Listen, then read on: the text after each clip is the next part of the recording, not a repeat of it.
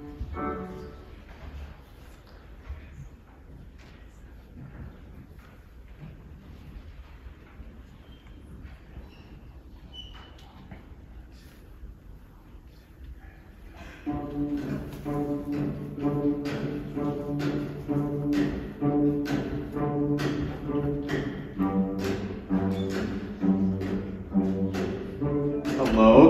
evening. Welcome to our sixth grade honors, uh, sixth grade orchestra concert tonight. My name is Mr. Berezny. I direct the orchestra here at OMS. Um, these are the sixth grade beginning students, so pretty much everybody has started this year on these instruments. So I hope you enjoy the show.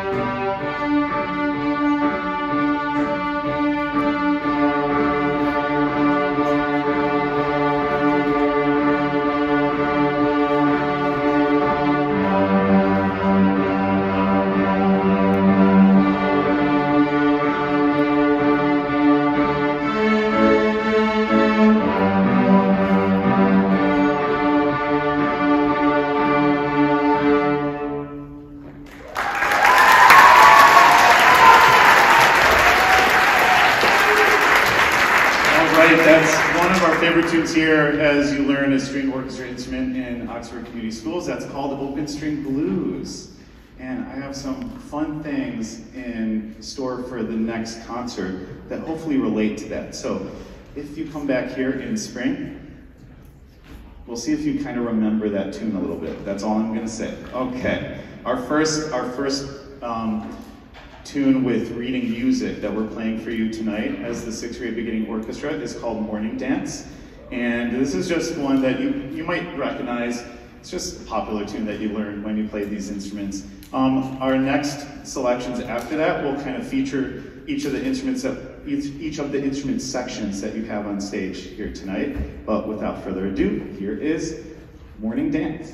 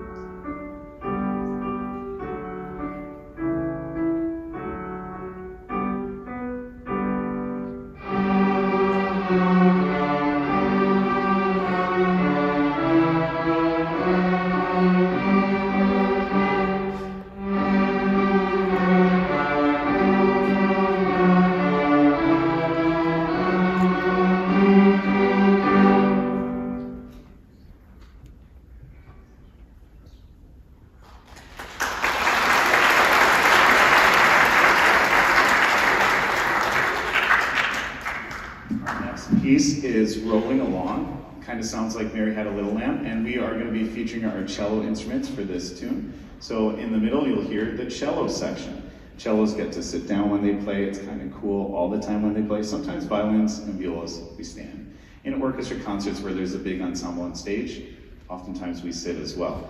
But here we are featuring these beautiful, a little bit larger, a little bit more velvety sound maybe. I like to think of this, uh, the cello as a lot of people say it emulates the human voice because it's not too high in the register.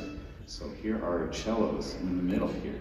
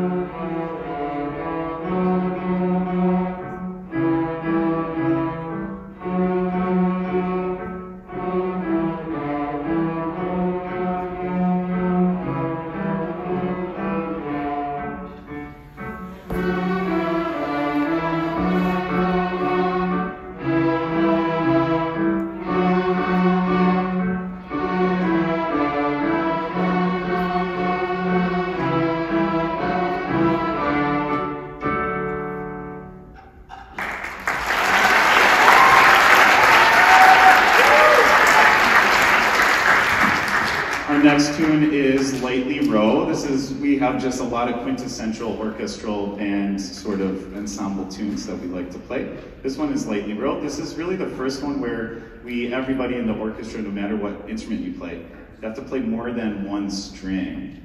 And so there's a little bit of a learning curve when you do that because all of a sudden, those notes that you learned in the first month of school, you're adding like a whole collection of other notes, and you have to navigate this bow change. Now, a lot of the string instruments, like if you're unfamiliar, this position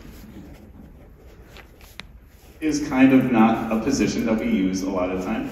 And really, this one isn't really either. So that gets a lot of, that takes a little bit of time to get adjusted to. Um, but we're so lucky that we do it with music and it makes it fun and it makes it easy to get momentum. So it's really nice. But it's something to think about. Like, this is not so easy. I know there's a lot of people who they love to say, when you begin the piano,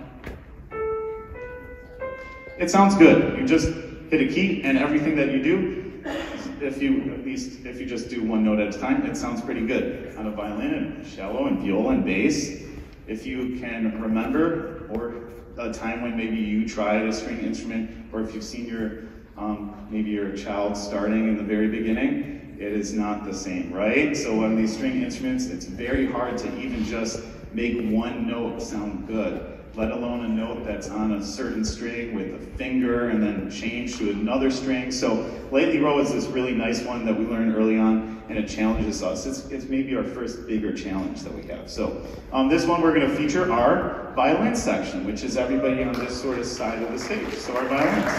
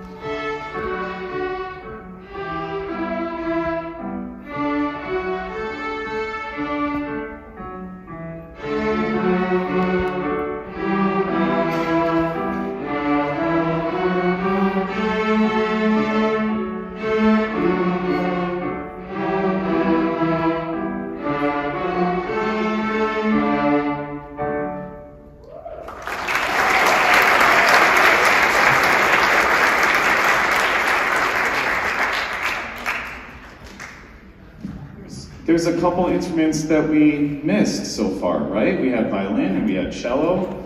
There's one more that we have on stage today. We have our viola section. We have Jamie and Clara and Callie. Hey, you guys just name those violas? Because they look similar. They look, they're often confused maybe with violins because they have very similar shape and the size can be mistaken, especially when we're dealing with student sizes. I mean, some of the violas are the same sizes as violin counterparts when you're studying. So sometimes the violas get kind of a rough halfway through life because everybody doesn't, they're like, what's a viola? I thought it was a fiddle or a violin, and they always kind of get forgotten about maybe, and we don't like that, right? Violas are a part, a huge part of our orchestral sound. I mean, also not orchestra as well. You know the Beatles, the Beatles were like at the forefront of having a rock band kind of group use string ensembles with inner voices such as violas all the time. So we really like those inner voices. They make up the real magic that's in the middle of all of our music. It's nice to have a melody. You can sing it by yourself. But if you're going to play with other people, it's really cool to have some other harmonies going on. So we love our violas. Here is Old MacDonald at a farm.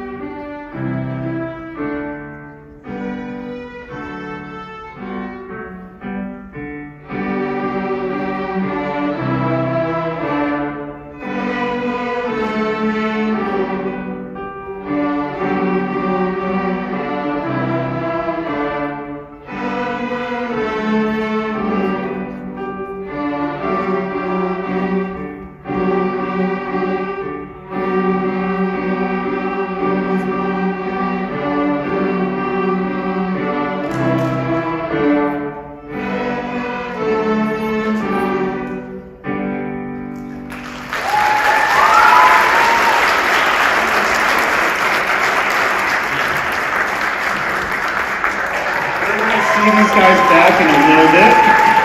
This is our first part of the concert, sixth grade beginning.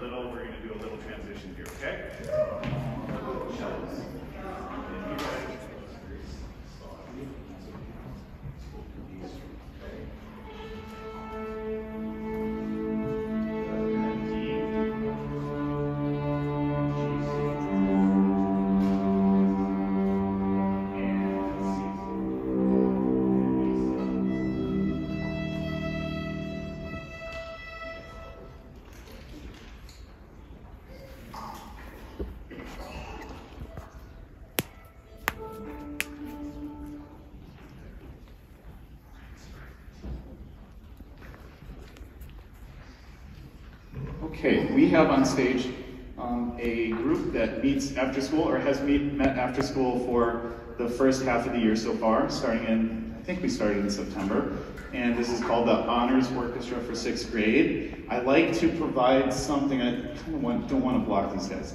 I like to provide something extra um, after school for people who enjoy playing their instruments a lot and maybe even enjoy the orchestra part of their school day. And so this is a nice accessible thing that's possible for a lot of people to join in. And if they really like to learn music, they can do so. One of the things that these guys are responsible for, however, is they have to do a little bit more work at home. They're more responsible for learning their own parts. So for those honors orchestra rehearsals, once a week. We really don't, we're not learning notes in those rehearsals. We're rehearsing mainly on all the musical aspects of the piece and putting things together. So it's those people who are willing to go above and beyond and spend some more time practicing individually, learning these notes and putting it together. There is, I have, I have um, found that there is some definite interest in continuing honors orchestra for the spring semester. I take a break after this concert because I'm kind of tied up with middle school. The seventh and eighth grade has some big stuff in February and March, the fest, their festival performances. So I kind of get tied up with that. But I, I think about bringing back honors orchestra in the spring and sixth grade beginners who are going above and beyond, who might want to try that to have that experience as well are welcome to um, talk to me and we can probably have some of those guys join in as well. I'm not sure of the day of the week. I also have a fiddle club, which starts in spring as well. It happens in March. And this is another sort of extra opportunity. Fiddle club is a little bit different from honors orchestra. Honors orchestra, you'll hear they play orchestra ensemble music with different parts. Fiddle club is more just playing, learning tunes, unison, and having a good time. In fact, we have a guitar player in the audience who plays with us a lot. Mr. Yeager is here. I, I don't know if it wants to be pointed out, but he actually joins us. Sometimes he plays banjo, he plays guitar. He's one of our building, our like official building subs. So everybody in the in the, in our school, really, all the students, all the staff, everybody knows Mr. Yeager. He joins us, and it makes it so much better. So look on, be on the lookout. Essentially, be on the lookout for emails as we get towards March for other opportunities for orchestra if you find your child is like really into it and they're having a they're having a great time in orchestra and maybe they're looking for something extra. So without further ado, we're going to play four pieces. Um, the first one is called Detour, centered around the note D in the D major scale. The next one is called the Grotto, which has this kind of interesting harmony, harmonic structure going on. It's kind of cool. It's a different sort of character behind the piece. Not quite happy, not quite sad, somewhere in the middle. And then we're going to play Gaelic Castle, which was a nice stretch for us. This was a little bit more of a tricky piece. Kind of gives you, it evokes the like sort of castles from the from the Middle Ages kind of theme. And then the last P, the last sorry, last P. I took the second half of the title. The last piece goes all crazy and chaotic. We have visions of millipedes running all over the place through music. So I hope you enjoy. This is Honors Orchestra, and I will be playing some viola.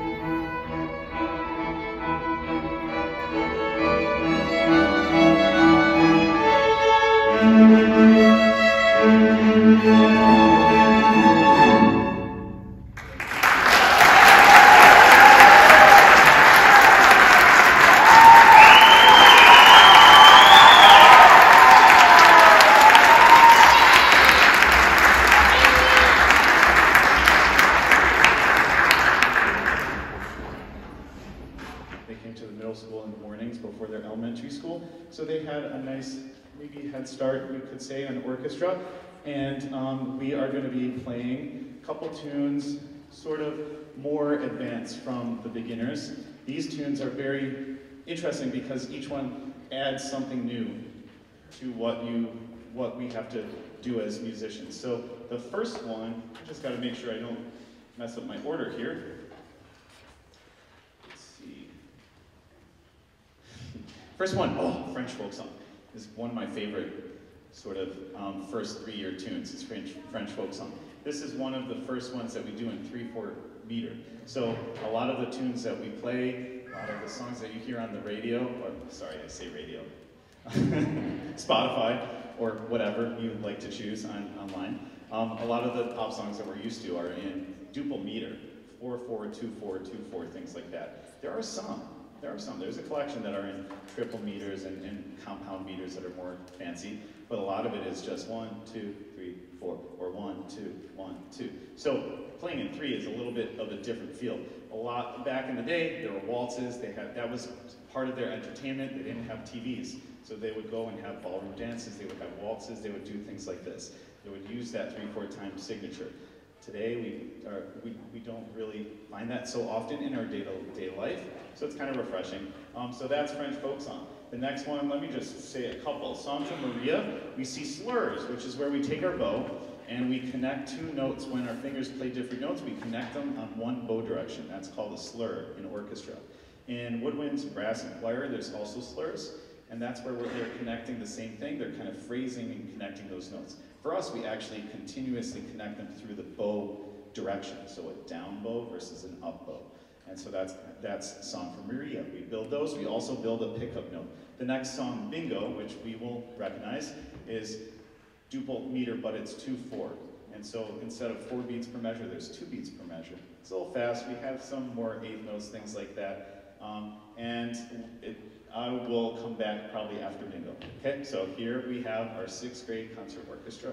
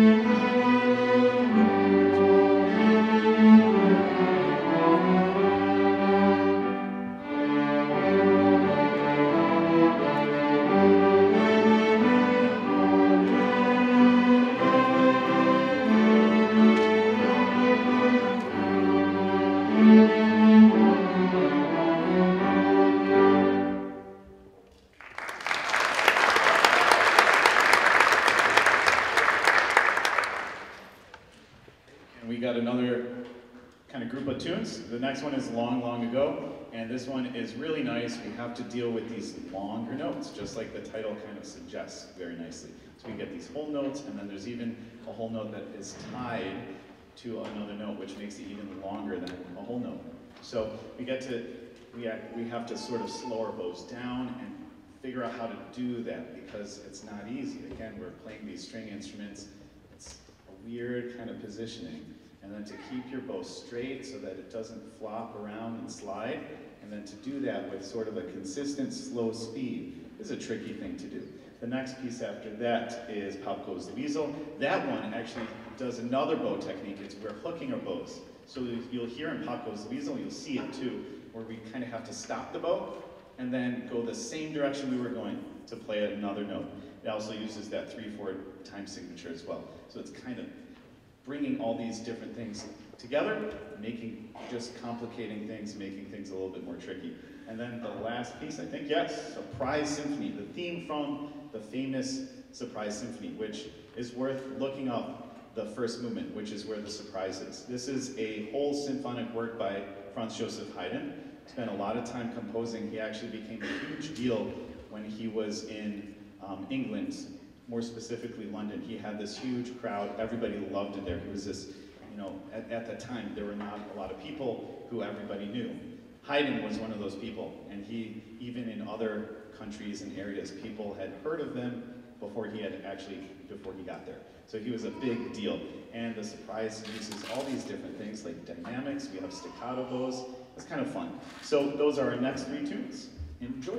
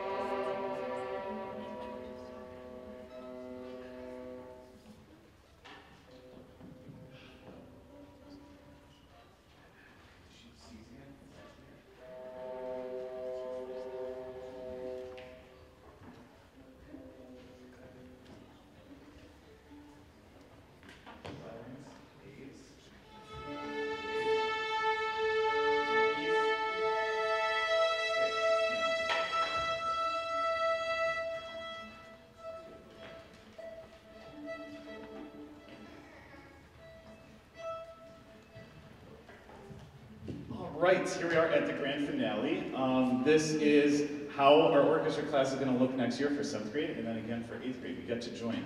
We had the opportunity to rehearse like this for just about 20 minutes in an afternoon advisory rehearsal Monday. That was the first time we put everything together, and it was amazing. It's it's great. The sound, the people, it's great. So it's perfect. You're gonna love it. And then we get to do this a lot more. Basically, our spring, our spring concert will be a lot more of this type of stuff where we're all playing together.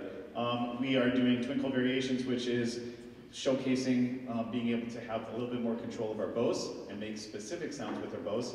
We've got Can Can, which is a, a sort of more tough first year song. And then we close with Royal Promenade, which is one that we're all excited to play for you tonight. Uh, one thing, we have a short reception afterwards in the lobby. This is how it works at the end. Our students will bring their instruments back to the orchestra room where they unpacked. They have all their cases and coats. And then the students will come, will come and meet you guys in the lobby afterwards. And then if I can ask for community help, just parents and family and friends, when you go out into the lobby and, and we have the cookies and everything on those tables, you can just help as a, as a group and just get those open and get those ready for when the kids come back. There will be a couple minutes, you'll have plenty of time. So um, thank you very much. Thank you for um, driving here tonight and being safe, and I hope you're all safe on the way home. I think it's pretty clear, but just, just have that thought in your head. And then thank you to our crew, our stage crew, and our audience, our auditorium crew here at Veritas.